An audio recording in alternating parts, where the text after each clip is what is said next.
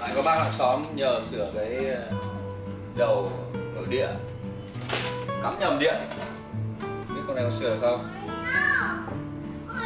Okio. Onkyo. Này, cái âm ly ra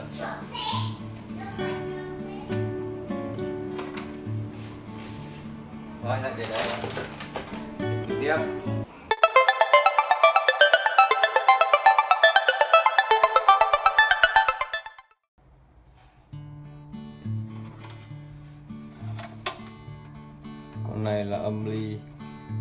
Kyo Trông bé nhỏ gọn cái Rồi, bây giờ mình tháo ra xem là sửa được không?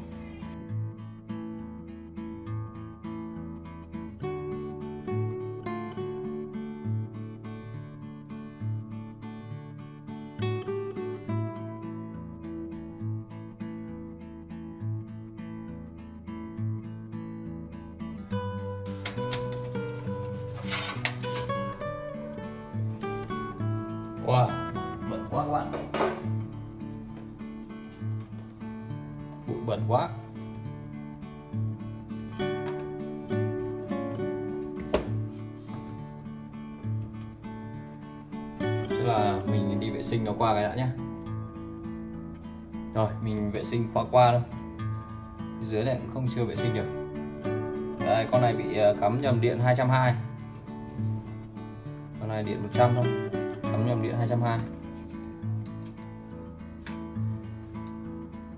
thì à, bây giờ mình xác định đây có một cái cầu chì này. Đây trong này có một cái cầu chì cái mạch này chắc là mạch mạch nguồn này đây tại vì dây nguồn đi vào đây. Đấy. Nguồn đây. Đi vào đây. Đây là mạch nguồn. Qua biến thế này. Qua biến thế này để à, hạ áp. Đó mạch nguồn nó kết nối với cái main chính này. Một cái thanh này. Một cái mạch nhỏ, nhỏ mạch nối gọi là mạch nối. Này là tinh vi cơ rồi bây giờ để mình tháo cái mạch tháo rời cái mạch nguồn này ra nhé.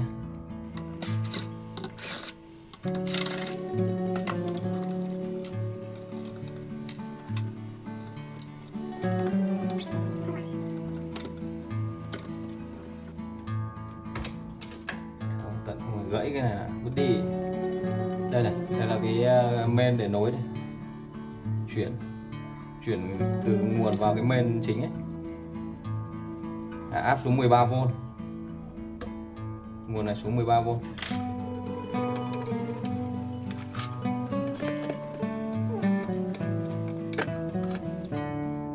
đây mạch nguồn của nó đây.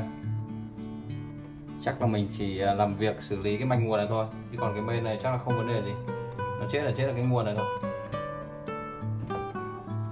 Bao giờ các thiết bị điện nó cũng có cái mạch nguồn riêng ấy, để nó hạ áp nuôi cái men này. Thôi bỏ cái này tạm bỏ cái này sang một bên nhé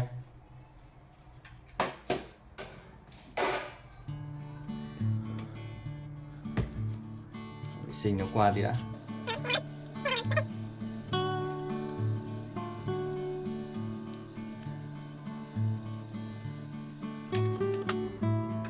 Rồi, ở đây có cái cầu chì này. Bây giờ mình sẽ đo cái cầu chì này xem nó có đứt không đã.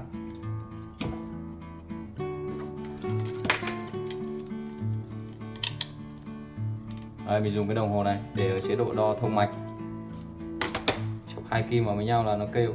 Đó. Mình sẽ đo hai cực của cầu chì xem là đồng hồ có kêu nhé Vẫn kêu Tức là cái cầu chì này chưa bị đứt.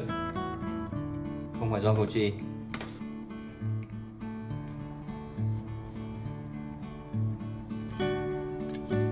không phải do cầu chỉ thì cái này nó không giống như là cái bình đun nước mà mình sửa cái clip trước. Bình đun nước nó có một cái con tụ trong xét đó là bảo bảo vệ mạch, nhưng cái mạch này thì không có. Mình có tham khảo à, một vài các ừ, bạn ở trên mạng thì à, do cái con này, con biến áp này. Tức là phía trong con biến áp này nó sẽ có một cái cầu trì nhiệt nó sẽ làm à, đứt cái cầu trì nhiệt nếu mình cắm nhầm điện. Làm đứt cái cầu trì nhiệt ở trong bên trong cái cuộn dây này. Đấy.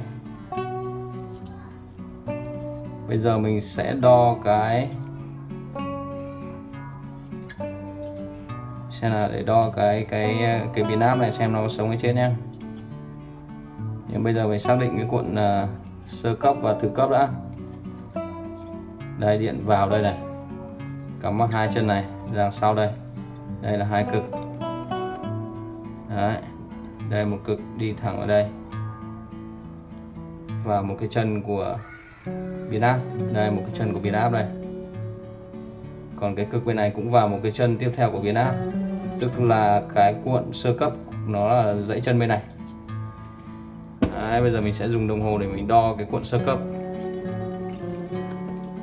Vấn đề ở chế độ đo thông mạch nhá cho cái cuộn sơ cấp. Bình thường thì nó phải thông nhau.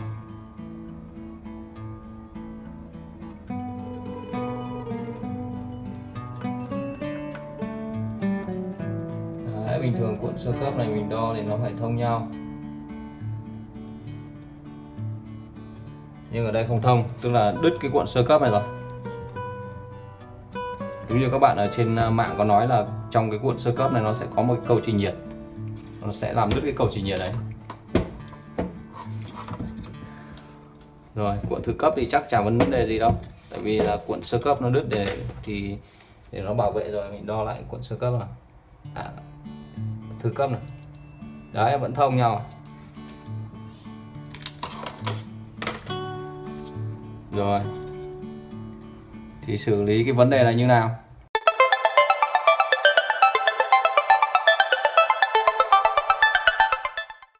Một đấy là sẽ, mình sẽ thay cái biến áp này mới. Nhưng mà khả năng tìm cái biến áp này ngoài thị trường là hơi khoai đấy. Thay cái biến áp này là nó chạy được không? Nhưng mà nếu mà không tìm được cái biến áp mới thì mình sẽ xử lý bằng cách tháo bỏ cái gông này ra và xem cái cầu trình nhiệt nó là cái nào. Xong rồi nối lại. Thay câu trình nhiệt khác bây giờ mình sẽ nhả cái ờ, cục biến biến áp này ra. Để xem nó đứt dây như nào nhé.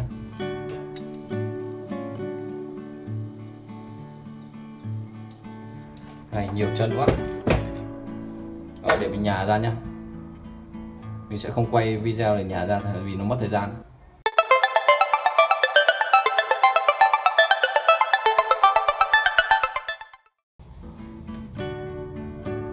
Đây mình đã tháo cái cục biến áp ấy ra rồi.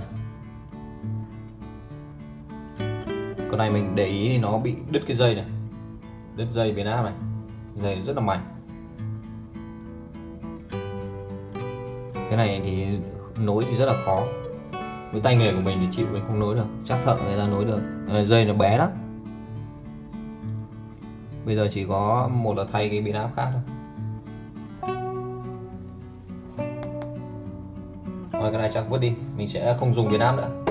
Hôm nay mình sẽ chia sẻ cho các bạn một cái cách để xử lý cái vấn đề như này. Bỏ cái biến áp này, không dùng biến áp nữa. Khi các bạn nhìn ở trên cái mạch này này, bản chất cái cục biến áp này nó sẽ hạ áp xuống điện 13V để nuôi cái mạch điều khiển. Nó chỉ nuôi cái mạch điều khiển thôi.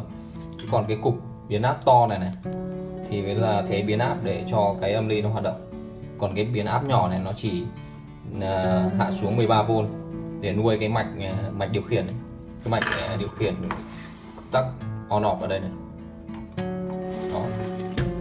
Thì bây giờ mình không dùng biến áp nữa nó cháy rồi không xử lý được. Thì mình mua ngoài cũng hơi khoai. Bây giờ mình sẽ khắc phục bằng cách là mình sẽ sử dụng một cái nguồn 12V ở bên ngoài để câu vào cái cái mạch điều khiển này. Đấy. Mình dùng cái con uh, led driver này. Con này cục uh, à, hạ nguồn uh, của cái đèn led. Input của nó là từ 100 cho đến 220V và output của nó là 12V 13,5V ngon quá con này 13,5V luôn này. 13,5 cho đến 24V đó. Mình sẽ dùng cái cục này luôn. Để mình à, chế vào đây thay đổi cục biến áp này. Đây mình mở ra cho các bạn xem.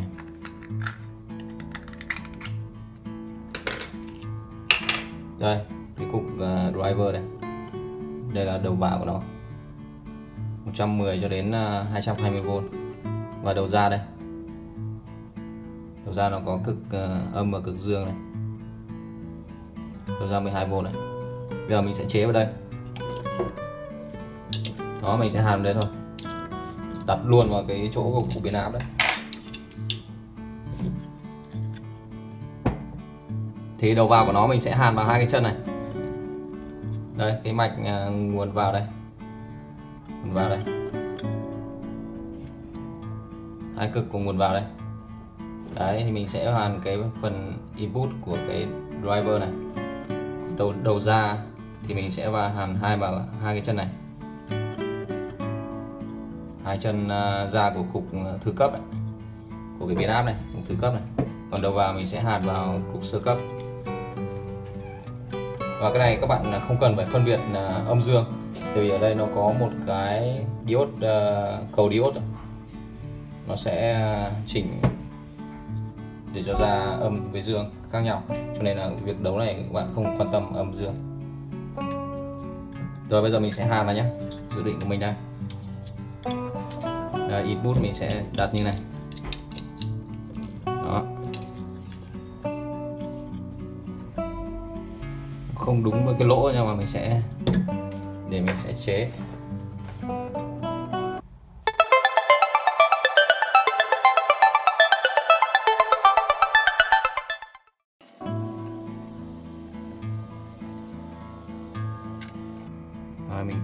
Chân của linh kiện này. Hàn vào đây. Đây là input này.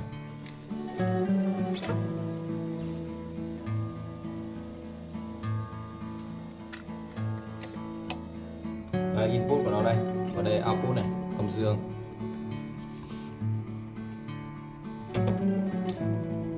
Input sẽ là chân của, cuộn sơ cấp.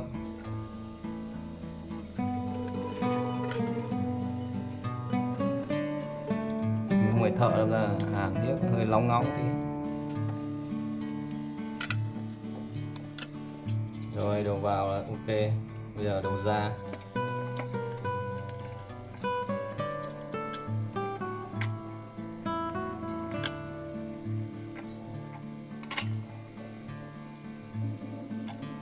Đây đầu ra mình sẽ hàn vào cái các cái chân của cuộn thứ cấp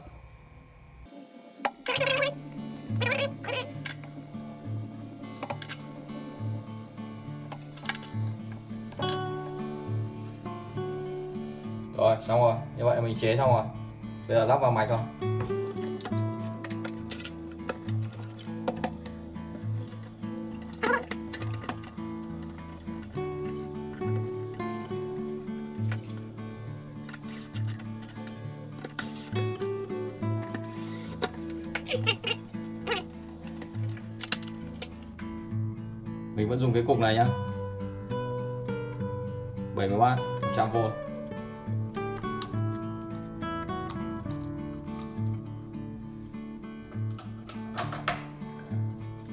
Rồi, bây giờ mình bật điện này.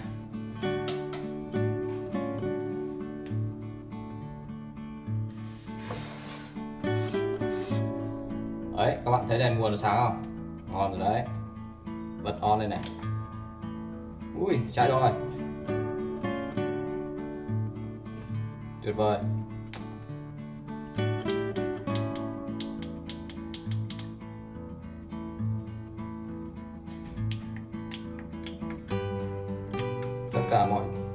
hoạt động tốt. Rồi, chi phí chỉ mất thêm cái cục này thôi. Cái cục này là mình à, tận dụng được cái cục driver của cái đèn led như mình. Mình chế luôn đây cho bác ấy. Chả mất cái đồng nào cả. Tất nhiên là cái việc này nếu như là lần sau mà bác ấy mà còn cắm nhầm 220 nữa thì chắc là vứt đi thôi. Tại vì bây giờ cái mạch này nó không có gì bảo vệ ngày xưa thì nó có cái ờ, cái biến áp này. Nó bảo vệ cái quá dòng nhưng mà bây giờ thì mình ờ, chế thay này thì chắc chắn là nó sẽ không bảo vệ được cái nếu mà khi cắm nhầm một lần nữa. Do vậy mà mình sẽ phải yêu cầu bác ấy fix cái ờ, fix cái dây nguồn này. Đấy, bản chất của cái cục này nó chỉ là cấp nguồn 12V để cho cái mạch điều khiển thôi nuôi cái công tắc này, này. Đấy, nuôi công tắc on off và cái điều khiển remote này. Thôi còn lại chả có tác dụng gì cả. Rồi bây giờ mình lắp vào này giả cho ba cái thôi gọi ba cái xuống đấy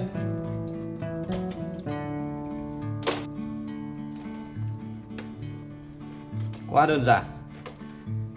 Các bạn thấy cách chia sẻ của mình có hay không ạ? Nếu các bạn thấy hay thì hãy cho mình ờ, một like nhé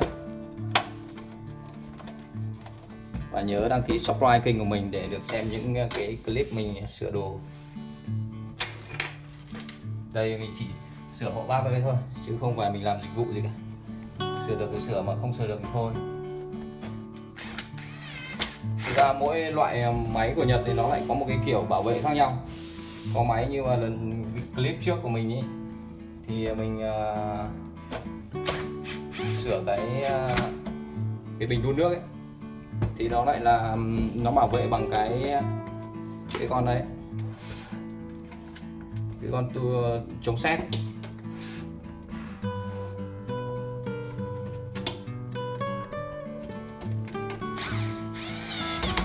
còn có thiết bị thì nó lại bảo vệ bằng cái cầu trì. Mỗi loại là nó lại bảo vệ khác nhau.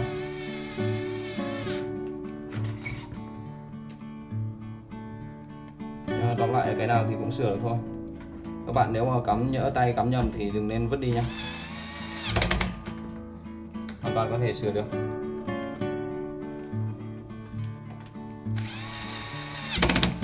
Xong rồi. Test lại lần nữa sao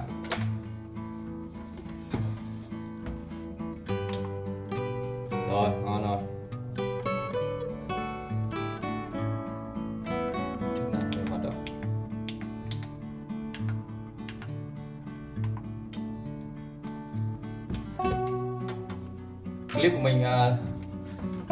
đây nhé nếu các bạn thấy hay thì hãy ờ, cho mình một like.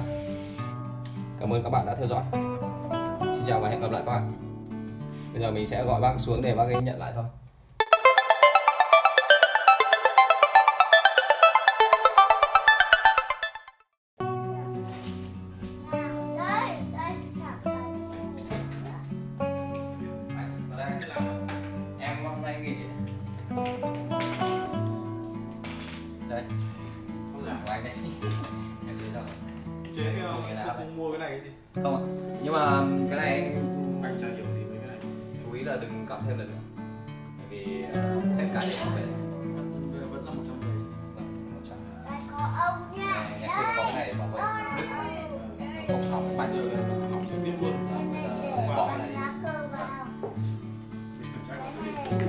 Là à, cố định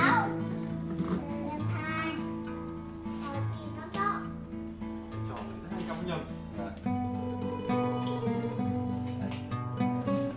lên được ngay được. Còn cái điều khiển điều khiển thì nó được. Đây, tiếp cái này